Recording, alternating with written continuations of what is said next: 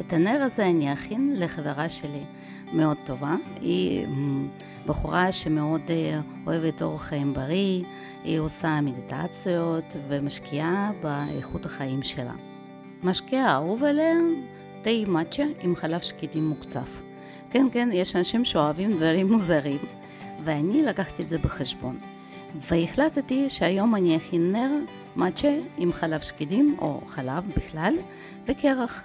אז אני סווטה מסווטה טרו בואו נכין היום נר מאצ'ה, חלב וקרח. אני רוצה להכין נר בכלי המקסים הזה. ונשאלת שאלה כמה נר נכנס פה, כמה שעבה, כמה תמצית ריח, איך בודקים את הדבר הזה. אז ככה, ממלאים לגובה רצוי של הנר במים את הכלי ומקבלים משקל. אני קיבלתי 500 גרם מים. מכפילים ב-0.8 ומקבלים 400 גרם של נר, כולל תמצית ריח וכולל שעבה ביחד. אם אנחנו רוצים לשים 8% ממשקל הנר של תמצית ריח, מכפילים ב-0.08 ומקבלים 32 גרם של תמצית ריח. אנחנו צריכים להוריד את ה-32 גרם האלה ממשקל של שעווה ונר ביחד, ויישאר לנו 368 גרם של שעווה. אז אם אנחנו עושים אותם ביחד, מקבלים 400, כן? ככה יהיה מדויק לגובה הרצוי, בלי עודפים של השעווה עם תמצית ריח, שאין מה לעשות איתם אחר כך. אני אוהבת להדביק מדבקת אזהרה ושימוש בנר, לפני שאני מוזגת נר לתוכו, הנה ככה הוא נראה, ועכשיו אני בודקת פתילים. אני קיבלתי משיננדה כמה פתילים ואני בוחרת את העוצמתי ביותר כי יש לי כלי גדול ויש לי תערובת של שעבות בפנים. אני לוקחת את הפתיל ומדביקה אותו למדבקה ושמה את המדבקה במרכז של הכלי עם איזשהו משהו ארוך אני מחזקת את ההדבקה אוקיי אז עכשיו אני שוקלת חלק של שעווה שעווה שקופה. אני רוצה שזה חצי מכל הנר, אז אני מחלקת 368 בשתיים. זה משקל שאני צריכה. ואני לוקחת את זה למקור חשמל, כן, יש לי אינדוקציה, ומחממת על עוצמה בינונית. אני מתחילה לחמם לאט ולא בעוצמה גבוהה ולא עוזבת את השעווה, כן, אני כל הזמן מערבבת אותה, כי העבודה עם השעווה הזאת היא מאוד יכולה להתגלגל לחימום יתר של שעווה. היא נמסה בטמפרטורה סביב 95 100 מעלות ואי אפשר להגיע למעלות האלה לא בדאבל בוילר, לא בבן מרי, לא במיקרוגל, רק על המקור אש ישיר שהוא ממקור חשמל שזה יותר עדין כן מגז. אז הנה אתם רואים, ברגע שאני רואה שרוב השעווה נמסה, אני מורידה את העוצמה נגיד מ-6 ל-4 כי אני לא רוצה לחמם יותר מדי את השעווה. לוקח בערך 3-4 דקות עד שכל השעווה נמסה ואני בודקת את החום של שעווה ואני רואה שזה 115. עכשיו אני רוצה להוציא, להוסיף את התמצית ריח. אני בוחרת ב cucumber and salt של Maple Street Candle Company, ריח מאלף. אני שמה לתוך חצי משעווה, כן, שאני שקלתי מסך הכל של הנר, אני שמה חצי מ fragrance oil, מתמצית הריח. אני מערבבת ומוזגת את השעווה לכלי של קוביות קרח, כי אני רוצה שהם יראו ממש כמו קוביות קרח בתוך המשקה, נר משקה שלי. השעווה שנשארה, כמות קטנה שנשארה ולא נכנסה לתוך התבנית הזאת, אני מוסיפה צבע ירוק, כן, צבע ירוק נוזלי לנרות, ומערבבת וזה יהיה אצלי חלק מהמשקה. עכשיו אני מתחילה להוציא את הקוביות קרח האלה, הן קצת פלאפיות, רכות, ואני נעזרת בפינצטה להוציא אותן. אני מוצאה אותן בזהירות, תראו איזה חמודות, ושם אותן בתוך הכלי. אני מפזרת אותם קרוב לדופן החיצונית של הכלי, ככה שיהיה אפשר לראות אותם מבחוץ, כן?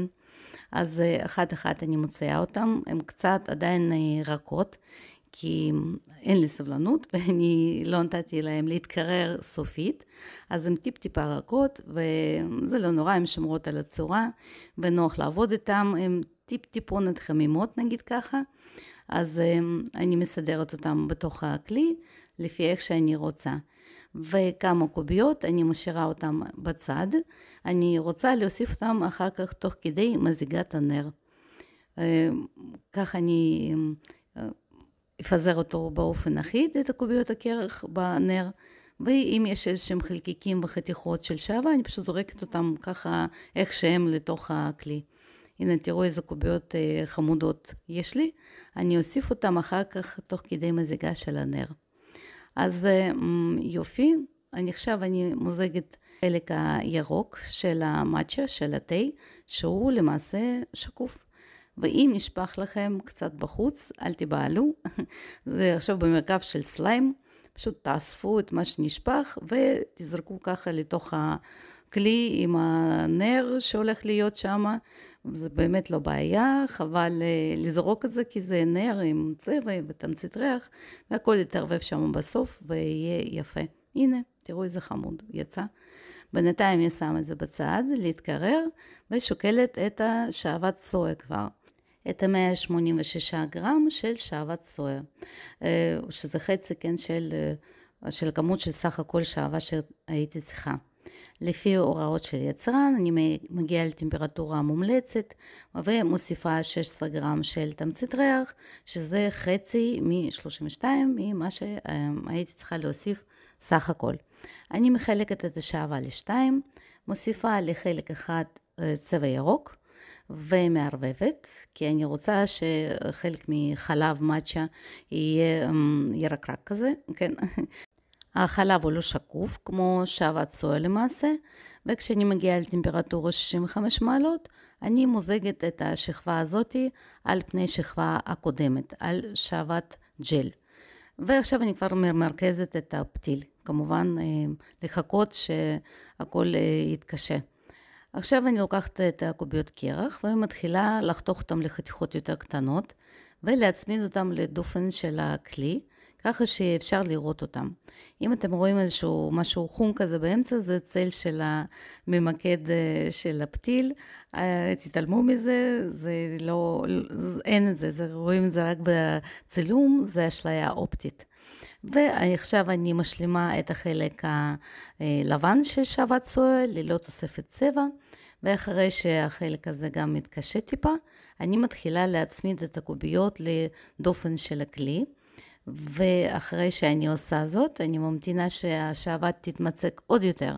ועכשיו כבר אני לוקחת את הקובייה האחרונה שנשארה לי, חותכת אותה גם לקוביות קטנות יותר, לחתיכות יותר קטנות, ומתחילה לפזר אמ, אה, על השכבה הלבנה הזאת, שהיא קצת רכה, כן, הקוביות טיפה שוקעות, וזה נותן אפקט של הקרח, כן, שהוא צף בתוך הכלי. עכשיו אני מסדרת את הקוביות אה, שיהיו מסודרות יפה, באופן אחיד, ונותנת לנר להתקרר באופן מוחלט. אחרי שהנר מתקרר, אני מורידה את הממקד הפתיל וחותכת את הפתיל באורך של 1 סנטימטר בערך. תראו איזה יפה זה יצא, וממש כאילו יש פה אומברה של צבעים, ויש פה חלק שקוף וקוביות. עם אה, חתיכת נייר קטנה, אני מנקה את החלק הפנימי מכל מיני שפריצים של שעווה, וקצת מבחוץ אני רואה לכלוכים. ועכשיו אני שמה מגן אבק, שזה דבר חשוב לנרות שאין להם אה, מכסה למעשה. ועכשיו אני אקשט את הנר. אני לוקחת איזשהו חוט ואיזושהי תווית יפה. אה, אני קושרת את זה מסביב לצוואר של הכלי. אני בטוחה ואני חושבת ש... הטאץ' הסופי הוא קריטי בפרזנטציה של מתנה ובחוויית המקבל, נגיד ככה. תראו איזה יפה הנר יצא, ואני מתלהבת נורא מקוביות הקרח בתוך החלב שאני רואה. פעם הבאה אני לא אמזוג ישירות את השעווה הירוקה, שעוות ג'ל הירוקה, על הקוביות, אה, כי ככה רואים פחות טוב את הקוביות פשוט. אני אמזוג קודם את השעוות סויה הירקרוקה, ואחר כך אני אמזוג את, כבר את השעבת ג'ל הירוקה ושעבת סויה לבנה.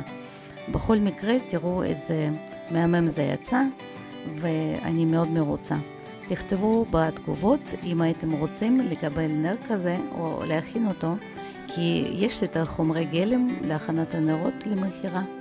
אוקיי, אני אורזת את המתנה ויוצאת לחברה שלי. ביי בינתיים, ניפגש בסרטונים הבאים.